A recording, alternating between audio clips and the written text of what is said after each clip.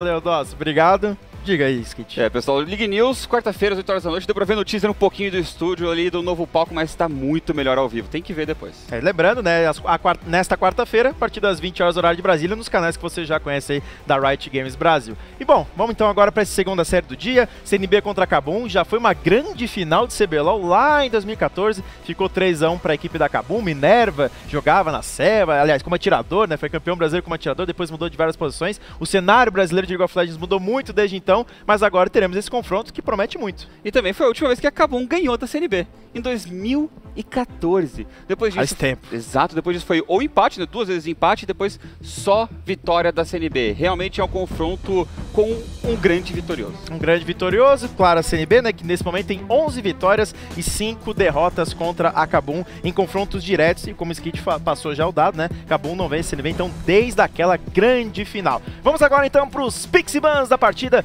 CNB lado esquerdo, do time azul, Kabum lado direito, equipe vermelha, lembrando, série melhor de 3. É, vamos ver como os dois se viram então, o que, que eles vão trazer por aqui, né? No primeiro, primeira série do dia, série rápida, dois jogos, nós vimos o foco em Malzahar, Camille, o grande foco também no, no COG pelos dois lados, Kalista, como a gente já havia comentado um pouco antes, então, por enquanto, mantendo algo parecido, só a Zoe que sobe de prioridade para essa série, sendo bonita pela CNB. Exato, né? Muito dos picks, às vezes, e bans, né, são feitos justamente por conta dos treinos, né? Às vezes você sabe que o time adversário pode estar utilizando. Tudo bem que a Zoe por si só também é uma grande campeã e acaba sendo uma, um dos banimentos, então, da CNB. E agora, o último ban da Kabum foi na Kalista. É, a Zoe, ela começou muito bem, All-Star nós vimos, tava destruidora. Prioridade. prioridade total, o show que fizeram com ela, mas aqui já perdeu bastante dessa prioridade justamente. Começa a passar um pouco, né? Já vimos hoje indo muito mais tarde no draft, também passando, então vai ser interessante ver como que ela entra. Por aqui, Orne é a primeira escolha da CNB, escolha muito forte, mas deixa pro outro lado também o Kog, que é o grande atirador na rota inferior, ele e o EZ. É, só que tá aí, então. Foi a escolha do EZ, na verdade. Azir, rapidamente. Azir que já apareceu hoje, inclusive foi destaque da partida o Talkers com este campeão. Ficou lendário no jogo, 9/0. E agora vai ser o campeão do Jinkedo. Vamos ver aí como que vai ser o desempenho, né? Se consegue repetir o feito. Tem Malzahar por aqui, pro, pro Hakim bater de frente. Tem alguns dos problemas de alcance, né? Você chegar num Azir nunca é fácil, mesmo com o Malzahar. Farmar também nas pri- primeiras rotas vai ser complicado. A gente viu alguns stats do EZ na LCK, já prioridade dele. Quão forte ele está também, né? Estão jogando muito bem com ele.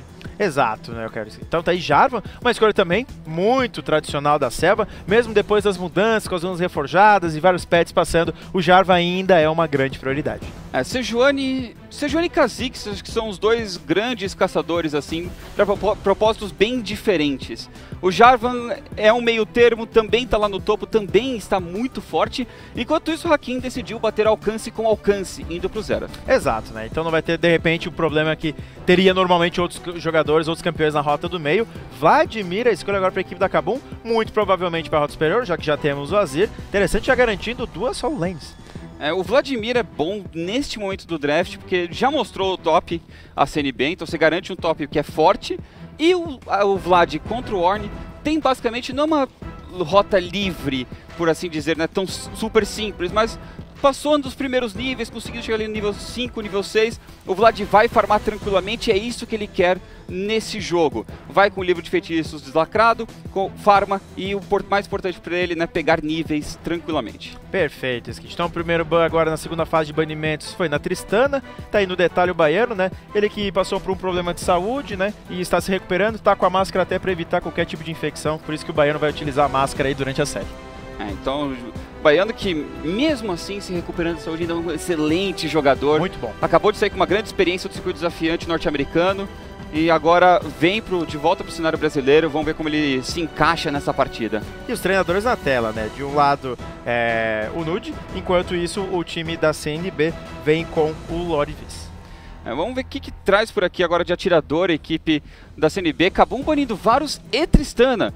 Dois grandes atiradores também acabaram deixando o COG passar nesse- nessa segunda fase, talvez pensando que demoraria muito, não cabe muito bem na composição da CNB, enquanto já garante o Tanquente também, um dos principais suportes desse momento. Enquanto isso, então, o Tamkate, como você já falou, Skit, realmente um suporte que vem sendo prioridade, muitas vezes até sendo banido né, pelas equipes, enquanto que agora a CNB vai fechar o seu drive, vai fechar suas escolhas com, as duas próximos, com os dois próximos campeões.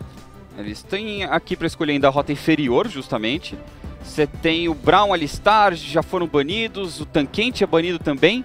Enquanto o mundo aparece agora para eles, será que eles estão brincando um pouco de GPL, que fez aquele Orne na rota inferior?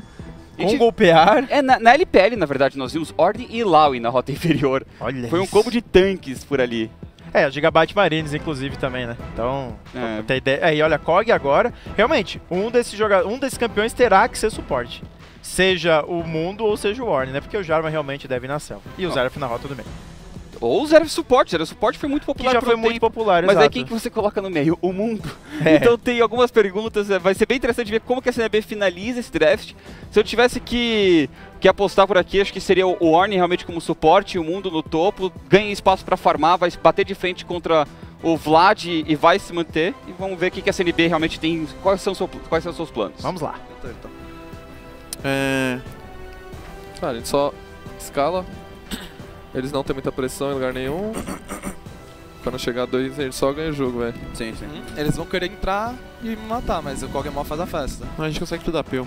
Eles Sim. não entram, eles têm um X alto. É, vamos ver então como que a CNB vai tentar encaixar um pouco mais disso e o que a Kabum tá pensando agora também. Can I still keep talking? Yeah, yeah, yeah. Yeah. So, Just don't say anything very relevant. why? I don't care if they know. they People can know will our strategy. I don't even. Oh, you mean that way? So in terms of strat, their comp, it's late game, but Yeah. late game they only have Kog'Maw.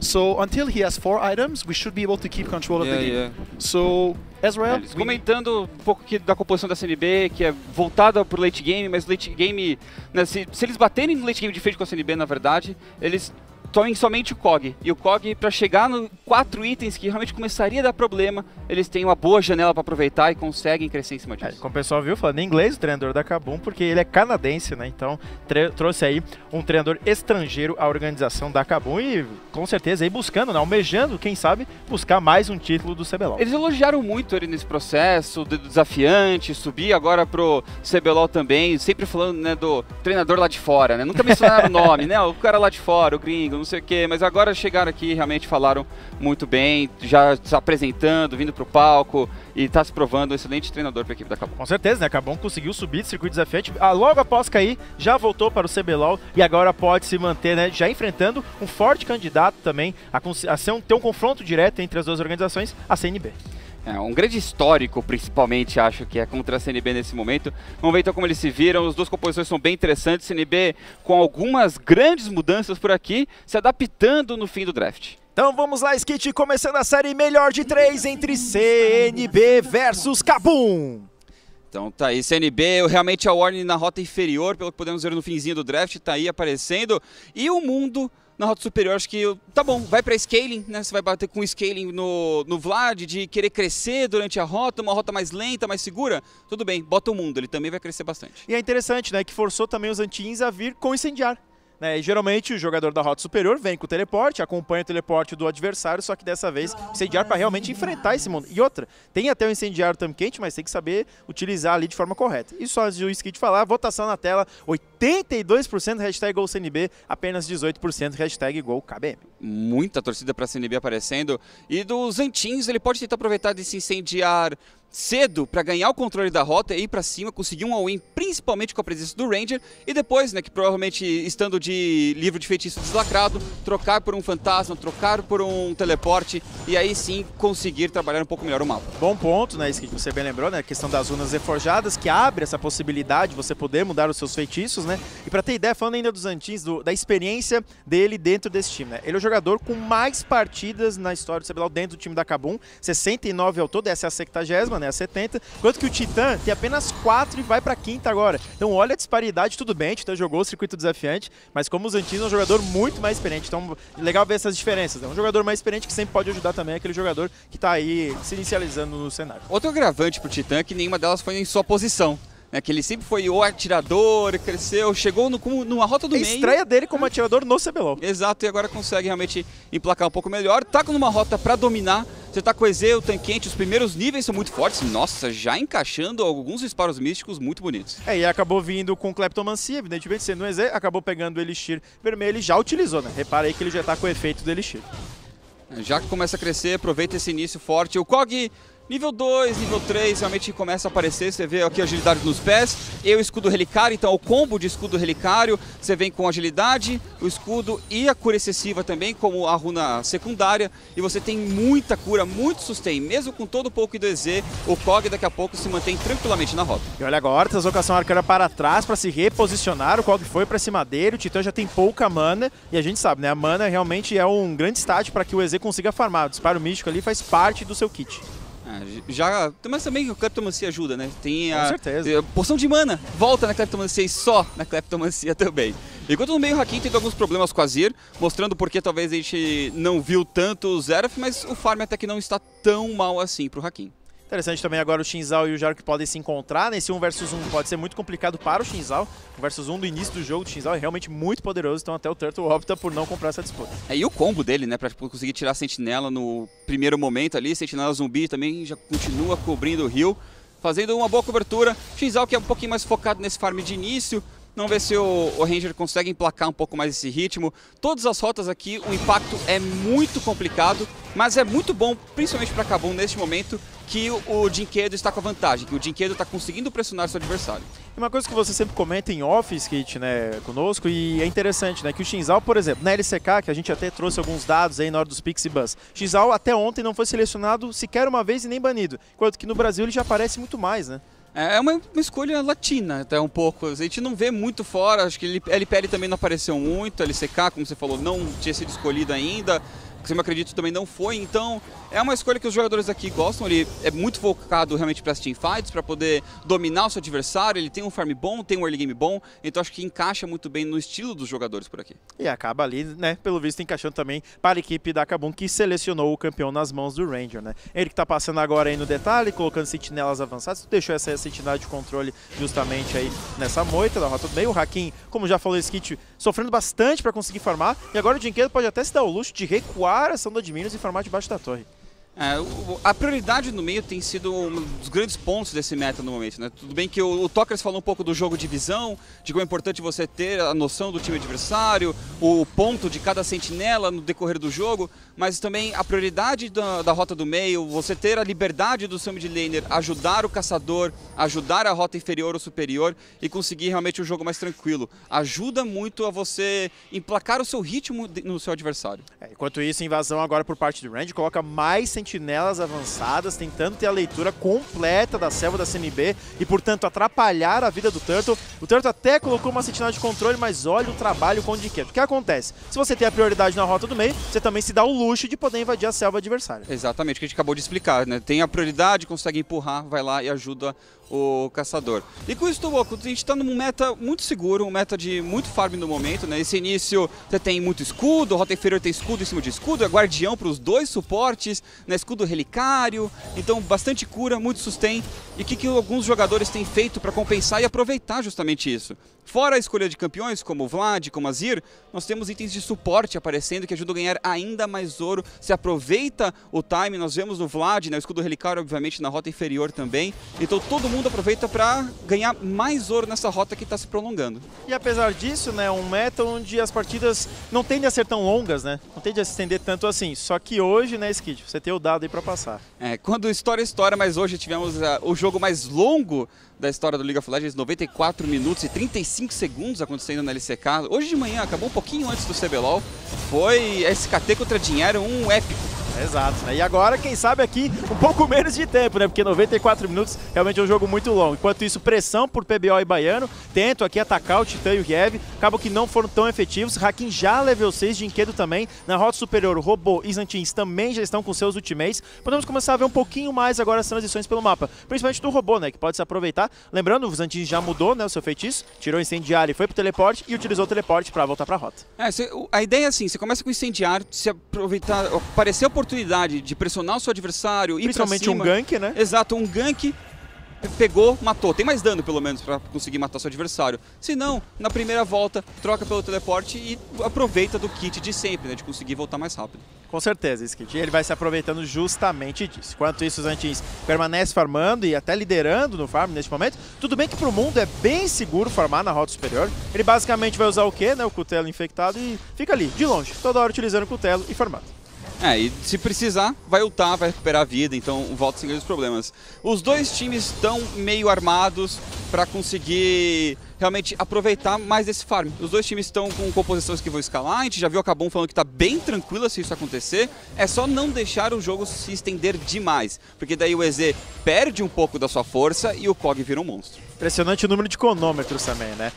3 para o lado da Kabum, 3 para o lado da SNB. Então, se tivermos uma luta 5 versus 5, pode apostar aí que vai demorar bastante tempo para alguém ser eliminado. O cronômetro também é muito bom para dive, né? Para você ir debaixo da torre do adversário, você conseguir forçar uma jogada, você, se você e se defender dela também. Então é muito importante se, se alguém forçar um cronômetro cedo, antes de acontecer algum tipo dessa de jogada assim, podemos ver no futuro aí um dive, realmente alguém querendo forçar um lado do mapa muito mais pesado. E por enquanto 0 a 0 no placar, os dois times apenas ali farmando, como até já falou um pouquinho mais cedo o Skit, não estão tentando em nada de mais agressivo, teve até um incendiário inicialmente para os Antis que depois mudou por conta das runas para o teleporte, mas também não conseguiu trabalhar com esse incendiário contra o mundo do robô.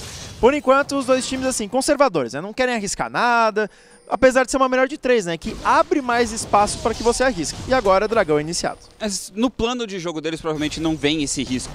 O plano de jogo é realmente muito mais seguro. Agora na rota inferior, Ranger vai encontrar. O dragão está sendo feito, mas ele está sozinho. Rota inferior está lá na base ainda. O Kog também está na cobertura.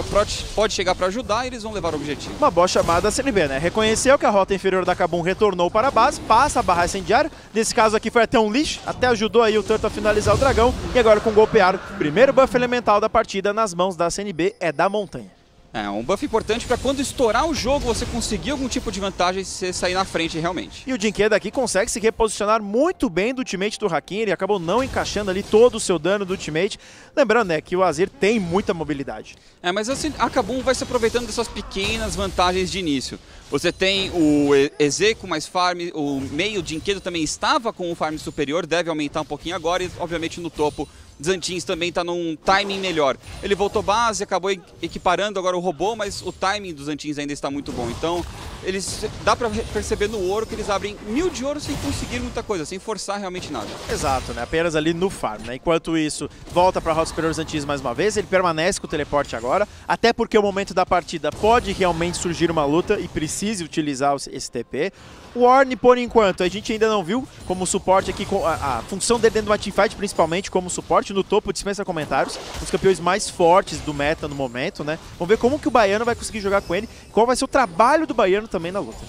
É, como que ele vai conseguir se encaixar, principalmente para fazer essa linha de frente, a não ser que ele realmente faça o peel pro Kog, que normalmente a gente tem visto o Kog com suportes mais antigos, por assim dizer, Jana, Lulu, porque ele é tão forte, ele é tão independente, se você der algum uma pequena proteção, algum kit para ele, que ele realmente consegue se virar. E agora Ranger só limpar a visão, pelo visto. Inclusive um AD que, apesar das mudanças no Turíbulo, né, ao decorrer do tempo, ele ainda, se ainda é muito interessante fazer o Turíbulo para o Kog. Olha agora! First Blood em cima do Baiano, fica nas mãos do Titã, eliminação! Tentou brigar de frente pela visão, foi para cima do Ranger, mas não tinha cobertura, não tinha realmente como trocar, e não foi só Sentinela e First Blood, talvez a primeira torre também. E olha agora, o robô vai pra cima dos Antins e ainda conta com seu ultimate, opta por não dar o dive. É bom lembrar que o Vladimir também tem um grande sustento de vida e a primeira torre da partida cai para Kabum, abre quase 3 mil de ouro de vantagem. É, mas outra, outro grande ponto do mundo é justamente esse. A perseguição dele é muito forte. Acertou o primeiro cutelo, ele vai para cima e ele pode fazer basicamente defesa mágica e ir para cima do Vlad e conseguir trocar. Isso que eu achei interessante, né? O que, que se lembra muito do mundo? Ah, duplo poder mágico nas rotas superior e também do meio? Mundo. Como você falou, Skid. Basicamente ele vai construir essa resistência mágica ele tem o semblante espiritual com o primeiro item e é, parece que o item é feito para ele por conta da regeneração de vida com, o ultimate. Então acaba que fica muito confortável a situação do mundo. É, e depois pode fazer uma Warmogs, né, que vai facilitar ainda mais a vida dele, né, de poder realmente trocar com o Vlad, sair um pouco. Mas por aqui, rota inferior agora Baiano indo longe demais para cima do Ranger. A gente viu que o Ranger encaixa direitinho o, o seu combo do Xal, né, para conseguir realmente controlar o adversário vira na hora certa e a comunicação é muito boa. Você vê que o Riev e o Titã já estavam indo pra cima, já estavam se locomovendo pra responder essa jogada. Enquanto isso, azul sendo feito aqui pelo Turt e pelo Hakim. Evidentemente fica aí nas mãos agora do Zerf. Vamos ver lá na rota superior, porque tem pressão já também por parte da Kabum, né? Que tá deixando mais uma vez Baiana e PBO debaixo da torre. A equipe da CNB no que tange a rota dupla, por enquanto não vai se dando bem. É, não tá tão fácil assim. PBO consegue colocar pressão, você vê o COG ativa o W, vai pra cima, né? Consegue trocar um pouco melhor, mas é complicado bater de frente com todo o alcance de desengage que teria um Tanquente e um EZ. Você não tem a oportunidade de falar, vamos pra cima, chega o caçador, vamos pra cima dos dois, porque é muita mobilidade, muitas formas de desengage. Cruz, né? Que falando em caçadores, né? Com exceção ali também numa aparição do Ranger, mas que contou também com um pouco do vacilo do Baiano em permanecer para a destruição da Sentinela, os dois caçadores até que não chegaram a aparecer tanto ainda no jogo, né, Skate? São todas rotas muito complicadas. Uh, o mundo é extremamente tanque, o Zeraf joga lá atrás e a rota inferior está debaixo da torre. Então, com o Ranger, não quer ir pra cima, porque você não quer se expor tanto. E agora do outro lado, olha, vão querer ir pra cima na rota superior, pelo agora visto. Agora pode ser o dive, quatro jogadores, ainda pode ter o teleporte dos Antins, ultimate do Orne, boa chegada do Turbo, já tenta iniciar a luta. O Orne acaba encaixando o ultimate em três jogadores também. Teleporte se aproxima, já chega agora também o Vladimir. O robô também já se aproximou, tenta fazer esse trabalho junto com seus companheiros. O Turtle tenta sobreviver, mas vai acabar sendo eliminado. O robô garante eliminação em cima do Kiev. O Hakim agora abraça sua torre, fica próximo dos companheiros. O Baiano tenta cercar os jogadores da Kabum. Por enquanto, uma eliminação para cada lado. Range ainda tenta se esquivar. O Baiano tenta se aproximar também. O Titã tem a deslocação arcana. Já utilizou pela parede. Vai sobreviver. Belo ult do Baiano, mas a CNB se dividiu por completo agora nessa teamfight. Deixaram o Turtle sozinho, prendendo o resto da equipe da Kabum. Enquanto o Robô, o PBO e o Baiano foram atrás de um dos membros. Conseguiram o abate em cima do Riev. Mas foi um pouco complicado. Enquanto isso, o robô continua. Ele quer mais um, mas não vai conseguir pegar esse EZ. E olha, o robô já está mostrando as garras desse mundo. A gente viu que ele garantiu essa eliminação. Tem uma chegada muito poderosa no teleporte. E a gente, falando nisso, vai ver agora o replay. Tá aí mais uma vez. Estava chegando ali atrás o, o Hakim com seu Zerf. O Baiano virou o foco da teamfight. Ele meio que falou, eu quero ir pra cima desses dois, desses três, na verdade, ver se consigo alguma coisa. Mas daí o Riev ficou isolado, né, junto com o Dinquedo. O robô consegue o abate e ele continuou perseguindo, ver se conseguia mais um. Demorou até pra virar em par nessa parte de baixo, onde estava a maioria da Kabum. Enquanto isso, né, agora fica um cerco aqui em torno, uma dança né, em torno do Arauto. 4 mil de vida, vai acabar resetando. Pelo menos por hora, ninguém vai conquistar o Arauto. É um pouco complicado ali de bater de frente nesse ponto do jogo pelo Arauto. Não sei se vale tão a pena assim, mas a CNB continua. Continua agora, vai reiniciar. Lembrando, já fizeram o primeiro dragão da partida, da montanha, importante. O próximo do Oceano vai nascer em 6 segundos. E o Arauto, sim, vai ficar nas mãos da CNB. Acabou, não vai contestar. O Vladimir, por exemplo, tá passando lá próximo da T2 do meio. Porque tem jogada. Chega o Tamquente, também chega agora os Antins. Utiliza o ultimate, o Dinquedo. Que linda eliminação! Deu a volta, utilizaram muito bem o kit do Tanquete, mas tem resposta da CNB. Tem resposta e olha essa jogada maravilhosa do Baiano. Ele tenta a perseguição. O Gabi que posicionou o Dinquedo. Ele ainda tenta sobreviver. Chega também agora o PBO. Já consegue sair com vida o Dinquedo. Os Antins também apareceu. Deu ar da graça para realmente afastar os jogadores da CNB. Será que é o suficiente? Ultimate do Orne. Tenta agora, acertou. Mais um knock-up. O Gabi utiliza o cronômetro. Vai tentar ganhar um pouco de tempo, mas vai ser eliminado pelo PBO. É, mas enquanto isso, Cabum lá em cima levando mais uma torre. Segunda torre do jogo para Cabum. Trabalhando mais nos objetivos, enquanto o CNB está indo muito longe atrás de abates. Realmente, os abates às vezes são importantes, são, mas mais importante os objetivos. Os Antins não conseguem cancelar esse arauto de forma alguma, não ter o controle de grupo e, nossa, olha a vida! Sai na poça de sangue e quase garante a eliminação, PBO! E agora a CNB também vai sair com seu próprio objetivo, no fim das contas, uma torre. Dinquedo tenta defender, mas o arauto já tá lá, a torre com pouquíssima vida é destruída. É, só que tem um ponto, Skit. Apesar de tudo isso ter acontecido, acabou, na verdade, desde aquela primeira luta onde levou a primeira torre do jogo, até aumentou a vantagem no ouro. É, mas é, é, o que a gente falou um pouco do jogo de objetivos, né? Eles levaram a primeira torre, já estavam conseguindo levar a do topo também, é, continuam farmando melhor, mesmo com todas as brigas, tem um pouquinho mais de farm nas mãos deles, e então, eles que estão meio que mandando no ritmo, eles que estão iniciando, eles que estão tomando a iniciativa, a primeira jogada, enquanto o CNB está tentando responder, se manter atrás da Kabum. Jogo tenso já, apesar de apenas 17 minutos de partida, os dois times brigando muito. Apesar de apenas 5 abates, não é o que reflete na hora das lutas, né? Que realmente são longas, extensas, e os dois times ali tentando aquela eliminação, seja nos mínimos detalhes, como quase foi agora contra os Antins. É, de novo, né? CNB com algumas escolhas diferentes, que a gente talvez não estava esperando, surpreendendo, na verdade, mas ainda assim trabalhando dentro das expectativas no jogo. As duas equipes tomando algumas iniciativas, tomando boas decisões, mas falhando um pouquinho nas execuções, né? De como ir para cima, de realmente como forçar aquele objetivo. Estão evoluindo isso parece que dentro do jogo mesmo. E agora, Dragão do Oceano iniciado pela equipe da Kabum, vai tentar então também ter o seu primeiro buff elemental da partida, e é isso que vai acontecer. Não haverá contestação da CNB, então por enquanto um buff elemental para cada lado, o próximo já é da montanha. É, uma coisa interessante pro Vlad nesse jogo, estando de livro de feitiço deslacrado, é que normalmente, né, num jogo que você tem um Vlad com livro, você pode trocar pelo fantasma, que aumenta muito a presença e o poder de teamfight dele. Mas você perde aí seu potencial de split push. Por isso que você vê tanto Vlad normalmente sendo utilizado com outro campeão que tem esse potencial no seu time. Assim você pode dividir e ele pode realmente mais focar na teamfight. Certo, meu filho. Nossa, deram de cara um com o outro. O Terto ainda tem como sair, é isso que ele faz. Estandarte Demaciano e ataque do dragão. Passou pela parede. Ele que ainda tá atrás em experiência, mas pelo menos tenta compensar agora roubando seu adversário. Deixando esse azul e terminando de farmar esse lado da selva, provavelmente consegue alcançar. Exato. Tanto que pode chegar a 500 assistências no CBLOL nessa partida. Tem 485 ao todo, contando essa aí que ele já tem. Então, um jogador aí também que muitas partidas pelo CBLOL pode conseguir esse feito hoje. Olha, não é difícil. 15, 15 assistências é em 2, 3 jogos, é, bem possível. possível. Tem Ainda que aumentar o ritmo, talvez. Tem que aumentar o ritmo, vai para outra coisa, quem sabe próximo jogo, se né, for para um Kha'Zix, aí já fica um pouco mais tranquilo. Verdade. É um jogo mais, de mais pressão. E o, Kha'Zix, é, e o Kha'Zix, que, por exemplo, foi banido na segunda rotação nessa primeira partida, então poderia ter sido uma escolha de fato, seja de CNB ou seja de Kabum, né? Um campeão que no meta vem muito, muito poderoso. Enquanto isso, na rota do meio, Dinquedo ali sempre pressionando, chega agora, ou pelo menos tenta chegar próximo dessa torre, coloca né, os seus soldados, reposiciona eles, mas não adianta, né? Chega o Hakim e acaba fazendo uma limpeza fácil, até porque o Zerf tem uma ótima limpeza da dono de Minos. Uma coisa que a Kabum não mencionou no áudio quando apareceu, né, quando eles falaram, é que o Zeref também é um monstro indo pro late game.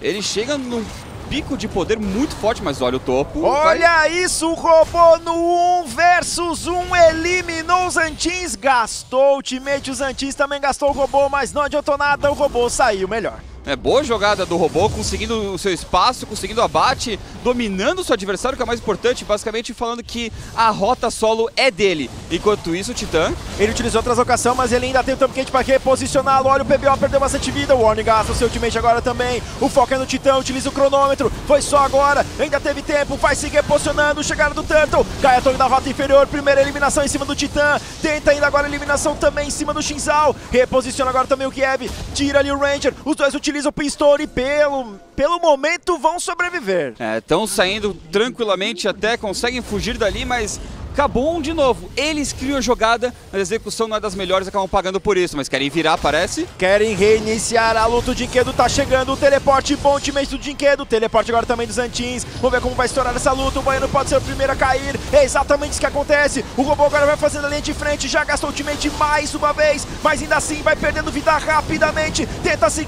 posicionar junto, o Kevin até engoliu o mundo, ganhou tempo, os Antins garante mais uma eliminação, mas o PBO também não para de bater, eliminou o Ranger, enquanto Enquanto isso, a luta permanece acontecendo, mas o fim vai acabar assim. Duas eliminações para cada lado, barragem incendiária passa, mas não elimina o Turtle. É, consegue virar o robô no meio de todo mundo, parecia que ia morrer imediatamente, mas mostrou o poder do mundo. Durou por muito tempo, realmente. Conseguiu tancar, conseguiu fazer linha de frente, foi virando pouco a pouco a teamfight. O único problema para a CNB é que o PBO precisa se expor mais, precisa ir para a linha de frente e dar o dano que o COG tem o potencial, né? Cumprir o potencial do campeão. Está muito atrás, tentando evitar ao máximo, obviamente, um all-in do Vlad, do Azir, que é perigoso, mas se ele não se expor um pouco mais, não for realmente para dar o dano do seu campeão, a CNB vai acabar caindo para trás. Ainda mais como você falou, esse um COG. É um campeão que causa um dano surreal, principalmente quando faz seus dois primeiros grandes itens. Agora é o replay da luta. É, tá aí mais uma vez, né? Baiano e Turtle, belo combo do Dinquedo, mostrando que tá em dia com o, o seu Azir, mas o Turtle acabou sendo isolado, né? Realmente ficando muito atrás, ficando atrasado. Enquanto chega o PBO, você vê o potencial, né? Ainda não está no seu pico, o segundo item vai ser completo um pouquinho depois, mas aqui que ele começa a se expor, mas com um pouco de receio se vai ou não vai realmente para teamfight. Enquanto isso, o robô mostrando a força do mundo para cima do Vlad. Debaixo da torre, Zantin tentando se segurar, mas acertou o cutelo, ligou o ultimate e foi para cima, não tem medo. Detalhe, o Zantin estava com incendiário nesse momento e não utilizou. Reparem, ele não utilizou. Ele estava com incendiário no momento daquela luta. É, pelo visto, não deu tão, não daria tão certo assim, não conseguiu utilizar na hora. Ele morreria igual, né? A, a vida que o mundo saiu era mais que suficiente para aguentar ali o dano do incendiário e posteriormente o- a redução de vida que ele ia ter, né? No prosseguimento. É, o ponto agora do qual que você tinha falado do segundo item, né? Que normalmente é Guinso e o limite da razão. Vai terminar o, segu o segundo item daqui a pouco. E nesse ponto ele dá mais dano por segundo, né? Dá o, o mais DPS do que todo mundo no mapa. Principalmente o Azira. Só ir pra cima e conseguir demolir. Precisa, obviamente, da proteção do seu time, mas se ele tiver esse espaço, ele passa reto por todo mundo. Coitado do Aronguejo, né? Todo mundo ali utilizou skill e acabou eliminando ele rapidamente. Deu a visão agora ali próximo do covil do Barão, né? PBL vai pra rota superior, faz a limpeza da onda de Minos. Shinzal do Ranger voltando pra base agora também. O jogo dá uma leve acalmada, mas ainda assim muito tenso, no sentido que as duas equipes, como já falei mais cedo, estão resolvendo as lutas nos mínimos detalhes. É realmente ali um pouquinho mais de dano que é o suficiente pra garantir a eliminação. E agora sim, PBO fecha o seu segundo grande item, fecha o limite da razão. Podemos ver a CNB agora um pouco mais agressiva de repente. É, porque a, a não ser, né, a- não é só o dano, é a defesa também. Né? Você tem muito dano macho do outro lado, é Vlad, é Azir, então você consegue realmente bater de frente com eles com muito mais segurança. Vamos ver se isso vai ser o suficiente para dar a confiança do PBO se expor um pouco mais e realmente partir pra briga. Enquanto isso, o robô, olha só, nossa, flash agressivo, o que, que é isso, meu filho? Enquanto isso, o teammate do Orne vai tentar aproximação, chega agora o Quente com seu teammate, o Gavin tenta dar proteção para o Titã, o robô agora não tem flash pra sair, o Jarvan também se aproximou, vai tentar reiniciar a luta, engolida ali o Titã pra ganhar tempo, tenta agora se reposicionar pela parede, isso que ele faz, já perderam o Riev na luta, o time da Kabum, cai na sequência o Baiano por enquanto, suporte por suporte, tenta agora o Titã mais uma eliminação, acaba não acertando o disparo místico justamente no tanto que poderia ter sido eliminado, o Ranger continua na luta, o robô tenta apenas se esquivar, e no fim, parece que a Kabum vai continuar. Eles estão perseguindo ainda os antigos, parece que quer brigar com o ultimate. É isso mesmo, foi pra cima da Fantasma agora e também o Flash já gastou. Neutralizado o PPO. Vai ter o dano da passiva, mas não é o suficiente. A Kabum não para não. Parecia que a CNB tava recuando pra esperar o ultimate do robô, que tá voltando daqui a pouquinho, né? Você vê que ele já tá quase de volta, 6 segundos pra estar de volta, mas ainda assim, se separaram, o PBO pra um canto, o Turtle pro outro, o Hakim pro outro também, ninguém ficou junto pra tentar responder ao engage desse, os Antins viu a oportunidade e conseguiu virar esse lance pra cima do seu É, e fora adversário. o fato do Flash do robô, né? Que jogada agressiva que acabou não dando certo. E agora, Dragão da Montanha para a Kabum. É que ele flechou errando o cutelo já, né? Então não de- Já não deu certo. A atitude é de- dá pra ver que ele quer fazer essa linha de frente, quer pra cima dos seus adversários, mas quando você força tanto assim uma play, tem que acertar absolutamente todo. Tá aí mais uma vez o flash, o cutelo errado e depois o ultimate do Warren também gasto fora de um cenário de teamfight pra tentar ajudar numa, numa briga que tá do outro lado praticamente. E isso tudo contra o Tanquente, que só dificulta esse tipo de jogada. Depois, Titã se reposicionou muito bem, jogou demais o Tanquente para reposicioná-lo, virar essa teamfight. O Baiano não conseguiu fazer mais a linha de frente, e daí foi acabou virando pouco a pouco com a vantagem de alcance que eles têm. É, mas nem sequer deu espaço, por exemplo. Tudo bem, fizeram o dragão, né? Mas digo, ainda nenhum time conseguiu espaço pra forçar, ou pelo menos beitar um barão, né? Que já seria um objetivo aí agora nesse momento bastante poderoso.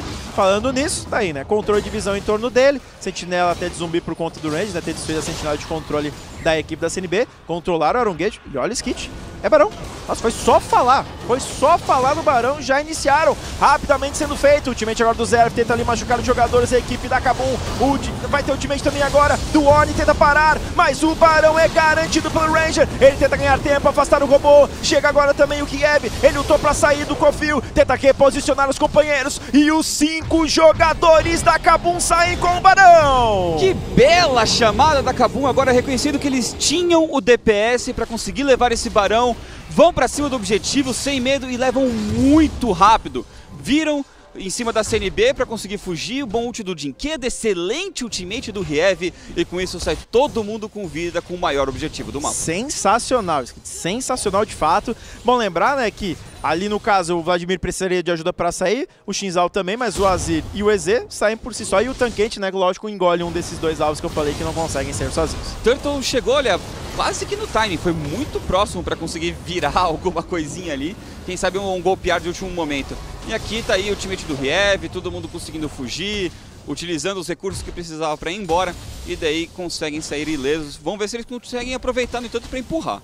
Olha agora, o robô vai pra cima, pego já o Tamquete do Riev, o Ranger também tá na luta, tenta afastar os adversários, a perseguição é intensa, o ultimate do Hakim de longe, passa a barra incendiária, chega agora o Titã causando muito dano, o robô também utiliza o seu ultimate, o Riev ainda tá vivo, recebe o curar do Titã, nasce nesse meio tempo azul que não tem nada a ver com a história, chega os Antins, mas, mas por enquanto sozinho, utiliza o ultimate agora, tem a poça de sangue, os companheiros estão um pouco longe, ele tenta resistir, utiliza agora também o seu Sônia, vai ganhando tempo, Proto cinturão pra se reposicionar na sequência. O Turtle ainda tá vivo com pouquíssima vida. Ranger ainda tenta sair da luta, mas não tem flash. A situação é complicada, o robô não para. Não acerta o Cutelo infectado. Tem o dano do Hakim na sequência. Ranger tenta desviar. O Tamquente chega agora pra também reposicionar ali todo mundo vivo. Enquanto isso, o Titã continua brigando com todo mundo. Fica ali na lateral, tem faixa de fluxo, então tem uma constante mana muito forte pra ele e continua atrapalhando a vida da CNB, forçando todo mundo a recuar a base, forçando todo mundo a sair da jogada e a Kabum volta ao controle do mapa. Sensacional, Skit. Todo mundo saiu vivo. Ultimate agora do Gav levando o Titã. Vão pra rota superior. Tem, né, esse buff do Barão junto com os Minions, mas aparentemente não vai dar tempo pra levar a torre, né? Porque tá chegando todo mundo da CNB. É, vão tentar ir pra cima dos dois somente, estão bem isolados, o robô ativou o ultimate, ele Exato, nossa, conseguiu desviar do cutelo no meio da translocação e tem um ponto, né, manopla dos Glacinatas e espada do Great Street, então o Titã, ele tá muito confortável pra kaitar. É uma build realmente focada nisso, nós vimos alguns jogos ZZ fazendo a sedenta por sangue depois de já ter a espada do rei e a manopla, então realmente um kit voltado para se defender, para sobreviver e conseguir trabalhar no pouco em cima do time adversário.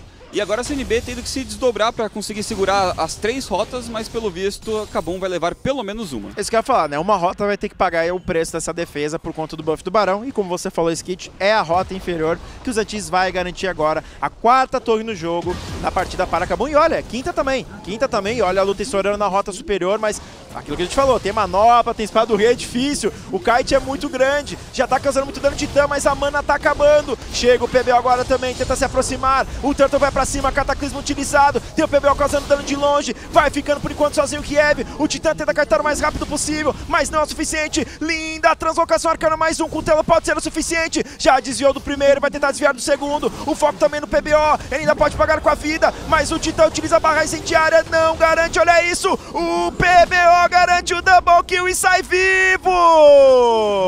CNB consegue as duas jogadas, mas por as duas abates, mas por que, que eu acho que a Kabum que fez a jogada mais bonita agora?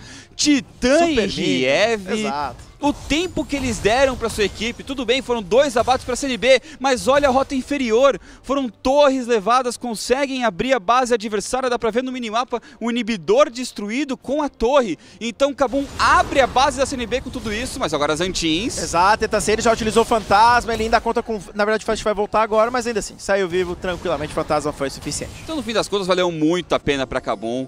Jogada linda do Titã e do Riev. CNB dão dois abates na mão do Kog, o que é importante para ele crescer um pouco mais no jogo, né? Conseguir aumentar o seu dano, a equipe conseguir realmente aumentar a sua presença nessas teamfights. Vamos ver se vai valer a pena ter perdido o inibidor da rota inferior. Exato, né? Tem um preço, só que esse preço a gente só vai saber nos próximos minutos se de fato né, vai ser utilizado para alguma coisa o Super Minions. Dragão Infernal nasce, Vladimir Zantins ainda indo para a base, ver se ele tenta aqui, se ele consegue chegar a tempo. O dragão já é iniciado e o Zantins está um pouco longe. Acredito que a CNB conseguirá fazer aí rapidamente o dragão.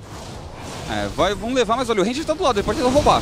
Vai tentar roubar, não conseguiu. Ultimate do Orne. Enquanto isso, o Ranger tenta ser reposicionado. É isso que acontece. Quem salvou ele. Ultimate do Hakim causa muito dano. PBO já garante a primeira eliminação na luta. Killing na partida 6 barra 1. Se aproxima os Antins. Ultimate em 3 jogadores. Tem esse dano amplificado, mas ninguém chega pra bater. Todo mundo com pouca vida agora da CNB. O robô já gastou Ultimate. Proto cinturão utilizado. A equipe da Kabum sabe que essa briga pode ser boa. Pode ser até decisiva. Todo mundo da CNB agora se abraça. Tenta ali realmente sobreviver sobreviver em grupo. Já caiu o Baiano, vai caindo na sequência mais jogadores. Neutralizado o PBO. Os Antins utilizam o Zona ganha tempo. Vai caindo um após o outro. Triple kill do Jinkedo e Ace da Kabum! E que Ace tomou com o kit em fight da Kabum. Sensacional, mais uma vez uma bela chegada dos Antins pega o ultimate em cima de quase todo mundo e pelo visto agora eles vão rumo ao GG e rumo à vitória. É isso mesmo, Skit para abrir 1 a 0 na série melhor de 3 contra a CNB. A primeira torre do Nexus já foi destruída, a segunda cai rapidamente na sequência e a Kabum começa vencendo uma partida no CBLOL. E que bela vitória da Kabum, muito bem executada, tiveram pequenos errinhos, mas nada que ofuscou uma bela partida. Com certeza, Skit, a chamada do Barão, que maestria, seja de quem foi chamado, até mesmo do time inteiro, inteligentíssima, foi crucial para que ganhasse tempo, para que levasse, inclusive, o inibidor da rota inferior, para que agora ganhasse o jogo. E destaque pro Rief também, né? Que ultimates estão quentes, sempre O precisos. ultimate sempre tava lá pra engolir seu aliado. Acho que a rota inferior é difícil. De modo geral, né? Olha, os dois ali jogaram muito bem. Titã sempre caetando, sempre conseguindo brincar com seus adversários. Enquanto isso, o Riev também o destaque por salvar todo mundo a todo momento. Exato. Então vamos para os melhores momentos da partida, onde a Kabum abriu 1 a 0 na série contra a CNB. E agora a CNB fica aí com a pressão, né? Tem que ganhar dois jogos seguidos agora para não ser derrotado. É, CNB, de novo, eles começaram até com um draft um pouco diferente, mas eu acho que eu não colocaria muita culpa, ou até culpa nenhuma no draft. Foi, foram algumas ideias inteligentes que deram certo em, em alguns aspectos. Então acho que foi caiu mais na execução mesmo. Acabou, como a gente comentou, no meio da partida, estava tomando iniciativa. Algumas deram certo, outras deram errado, mas era a Kabum que estava indo para cima e a CNB respondendo. E com isso, eles conseguiram manter um certo ritmo, conseguiram atrapalhar seu adversário. Esse lance foi lindo e por muito pouco o Titã não leva o PBO. Se ele leva o PBO aí, é capaz de ser o fim do jogo. Se ele consegue matar um, depois abre espaço na rota inferior. Mais um ataque básico do Riev, ele eliminava o PBO. É, se o disparo místico anterior, várias coisas poderiam ter acontecido. E aqui foi o lance que começou perdendo a Kabum, mas gastou muita coisa a CNB. E de novo, espaço livre pro Vlad. Nessa teamfight, nesse ponto do jogo, se não tivesse acabado aí, eu teria comentado que o Vlad está fora de controle, como ele estava já.